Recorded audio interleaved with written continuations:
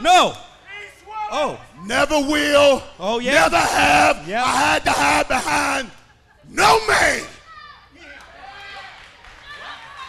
Second of all, me and you both know, Yeah.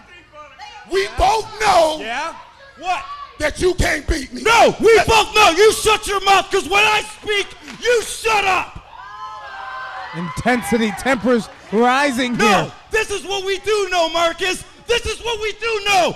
This is what we do know. The last time you and I stepped in a ring with a steel cage surrounding us, nobody to help you. Not Danger, not Bostic, not Revolver, nobody but yourself. And what happened? What happened? This is what happened. Jamin Olivencia, heavyweight champion. This is what happened. The disrespect. This is what happened. This is what I'm talking about. Now what you got? Now what you got? Because in Elizabethtown, June 28th, I'm gonna beat you. And there's gonna be nothing you can do about it. June 28th in Elizabethtown, right? Jamin's under his skin. When I'm standing over you and I've rightfully taken what's mine, just remember, it only fell apart because you let it. Hold on Danger a can't second. you his know what? I'm tired of this. I'm so tired of your stupid face, Jamin, and I'm tired of that title not where it be- be- belongs to Danger International.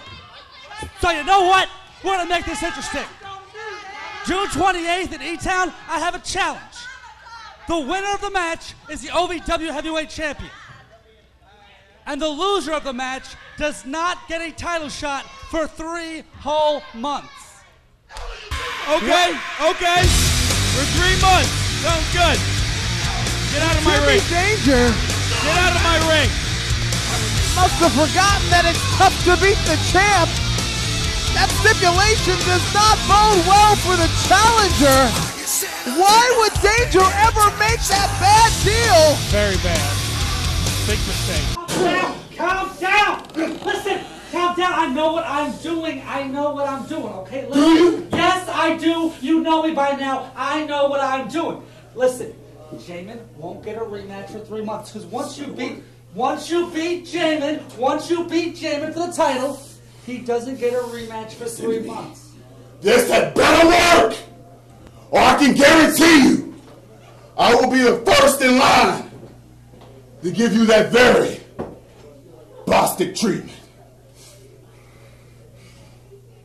Act like he doesn't see a thing, like he doesn't even care. It's Marcus. Anthony, this maniacal machine, laying in the full Nelson to Dylan Bostic.